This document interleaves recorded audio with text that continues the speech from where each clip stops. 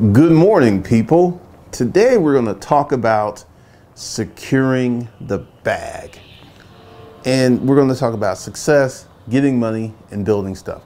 The last few videos was to tone you up and throw some body blows and to get you to start thinking because how you culturally look at something is how it manifests in your life. And black folks have a way of creating a cool dynamic, securing the bag, getting the bag, and there's all this language like, let's take Omi and the Hellcat. Omi and the Hellcat had, quote, secured the bag. He had money, he was buying, you know, nice cars, nice homes, he was always out, and he was living that life, but there was no information on how he got the money. It slowly filtered out that he was doing IPTV and he was doing some copyright infringements. So he secured the bag by legal means. But in the black community, as long as you secure the bag, it's all good. It doesn't really matter how you secure the bag. And a prime example of this fact, this fact, when I was a kid, girls would not date drug dealers. Girls would not date drug bad, bad boys. Now, name one drug dealer that has a problem finding a woman. Name one. It doesn't matter. He's like, he secured the bag. He's got the money. I'm going to be with him. Regardless of how he gets that money, we're going to secure the bag. Another example Real Housewives of Atlanta, which I think is a toxic show. They just sit around, go to parties, drink and stuff, and they live these fabulous lives but nobody's working. Nobody's working. How do you make this money? And I forget her name. She used to be married to the football player. She's a little, somewhat muscular. There used to be these jokes that she kind of looked like a man because she had muscles. Uh, she started a business and it literally went out of business because she didn't know how to run the business. Uh, or whatever her name. Is. She was one of those real housewives of Atlanta women. And one of the things that we got to do to get money is to provide service to people. And I've talked about this and I've talked about and I've talked about this. Rent seeking. Rent seeking is securing the bag, getting the money by any means necessary and without working. This is one of the cultural norms that's going on right now. This is why everyone's trying to be a day trader. This is why everyone's trying to do Forex. You know, bump creating a website and selling a product. Ah, I don't want to do all that. I just want to get pure money, secure the bag, and do what I want to do. And it's problematic because if you look at all of the great fortunes, Apple, they create a product and they sell it to people, they serve people. Tesla, they create a product, they serve people. Amazon, F, Amazon.com, they sell people products. If you look at all of the great fortunes, there is a similar component. There is no one just out trying to secure the bag. And one of the things I've looked at, and this is one of the things I, I don't think I've shared with y'all, is I've looked at how people got rich. You want to know how to become a billionaire? You've got to create a product or service that serves millions of people. That's how you become a billionaire. You're not going to become a billionaire like, I'm going to become a billionaire in five years, just saying it. There's this dude here on YouTube, Wesley Billionaire Virgin. He, he's always talking this game. He's always showing his cars. He's always talking about, I'm a millionaire, I'm all, but he never breaks down what he does to get money or how he does it to get money. And there's this thing that's called, um, if you're on the online space, you know that a lot of people, and this is something that is really true even with my courses, a lot of people buy your course and never do it. They'll just buy it, do it for a week, and then forget about it. They'll never ask for a refund. they'll, they'll just go ahead, play with it for a minute, and this was including people who bought the amazing selling machine, eh, which is an Amazon FBA course, which did $120 million, I think, thus far. they would spend five to twenty thousand dollars for this course and get into the course and find out it was too complex, it was too hard, and they would just stop doing it. So this is something that a lot of well veteran online course creators know. And you got a bunch of people who are literally just putting out garbage because they know that the majority of folks who buy their products are not going to do anything with it. Facts. so this is one of the reasons that you have so many internet marketers with these 1,000 to $5,000 programs because they need to be 1,000 to 5,000 to pay for the marketing. Because if it costs you $500 to get one sale and you got a thousand dollar product, you're good to go. You just made $500. You spent 500, you made a thousand. The math works, but the math doesn't work for smaller, cheaper courses. But going back to creating wealth in quote securing the bag. Because you know, securing the bag, I kind of hate that term because it leaves so many things out about the building wealth. Like how I got wealthy. I created a product and I served people. Each time that I was making above average income or a lot of money or seven figures a year, I was serving people. But this whole notion, because you know, like uh, there's this girl, she's got a course. that A lot of people seem to be having success for forex. I don't really know what forex is because I've never, never even played around with forex because my mentality is this is what you do to make money. Now, I may become open to forex in the future, but right now I'm going to stick with what I know makes me money versus going over here hoping to make money. And another thing that I've seen with the Forex crowd, love the people who will show their accounts, because this is the thing. There were people who will be talking about Forex, but they will never show their account. And there was this one girl, she made $30,000 in three hours, and she showed her account, and she had six figure account. I feel that's going to be the norm. The folks who are making these big, big payouts, they're going to have larger accounts, which means that they were doing something to get that money to create that large account. But this is, you know, this this whole securing the bag conversation, it bothers me because we're not talking about the methodology of making money. And this is how so many people get screwed. This is how so many people get misled. This is how so many people actually get into a situation where they're losing money. Let's take Bitcoin. Right now, I think Bitcoin's moving toward 12,000 if it's not at 12,000. And I've had many, many people on this YouTube channel come after me because I've said, do not invest in Bitcoin. Do this instead. See, the, the conversation has been that don't go out and you know start a business.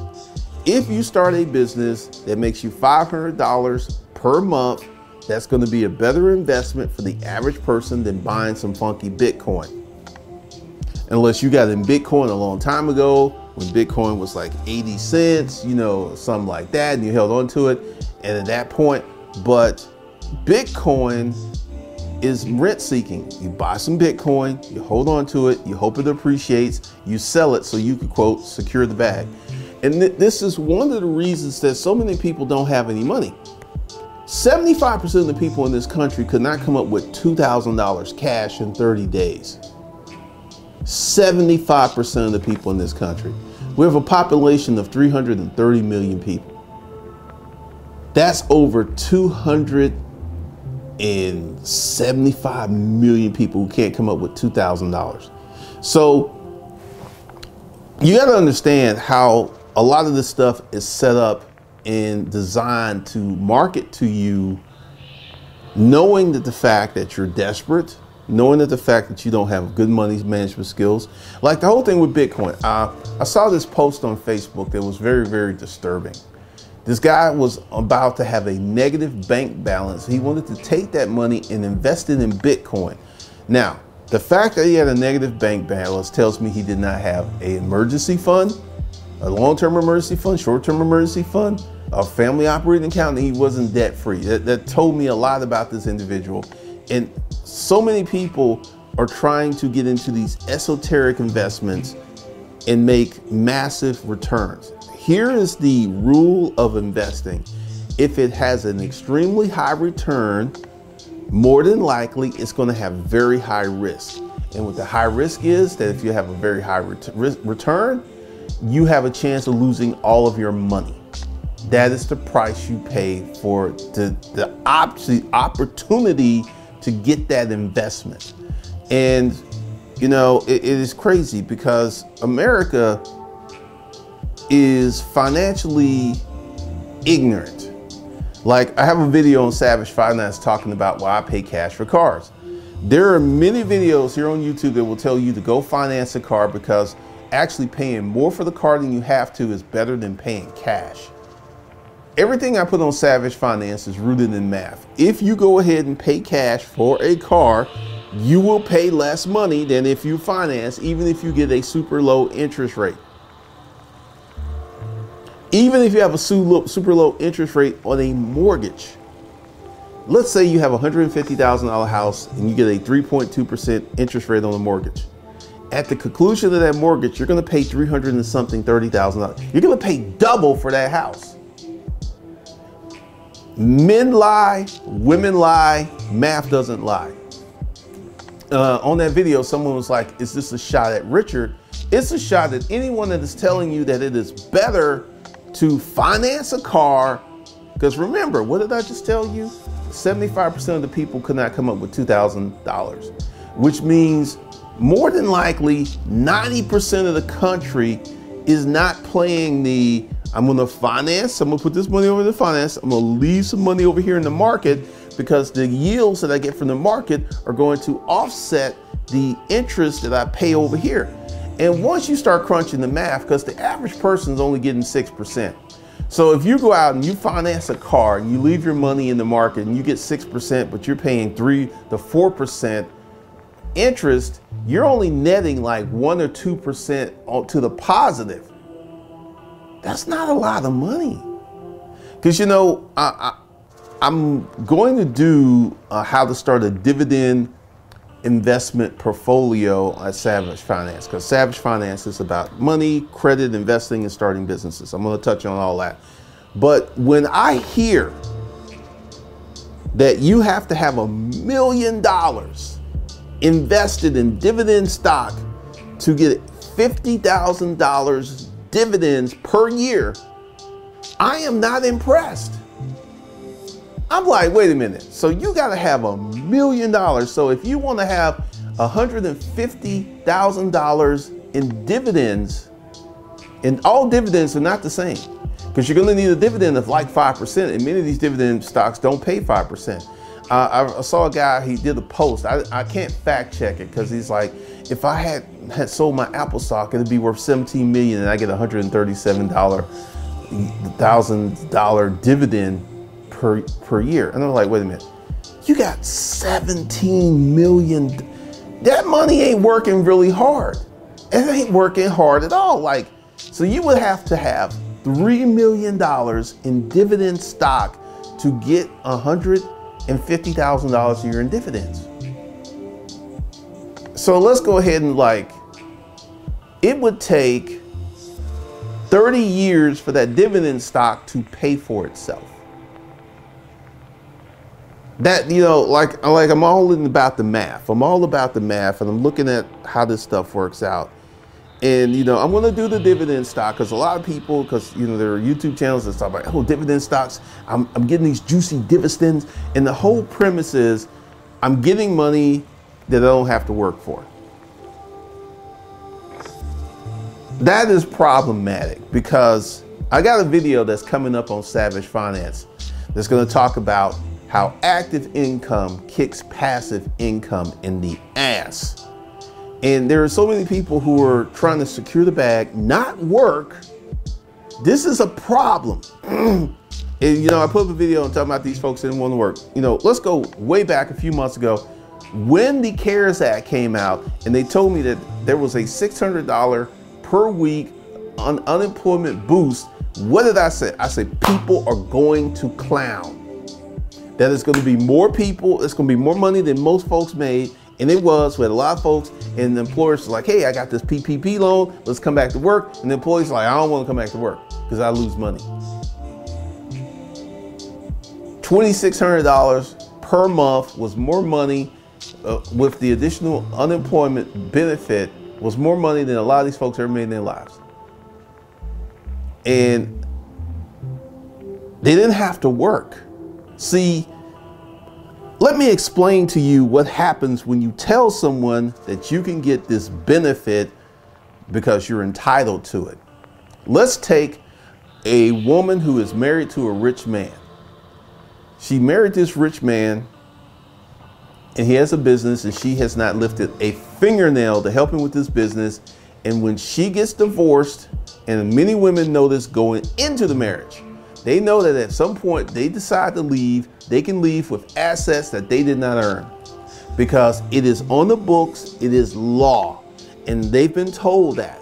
And this is why, because I'm going to do a video for um, life in black and white on how to execute a prenup this is why a lot of women don't want to sign prenups.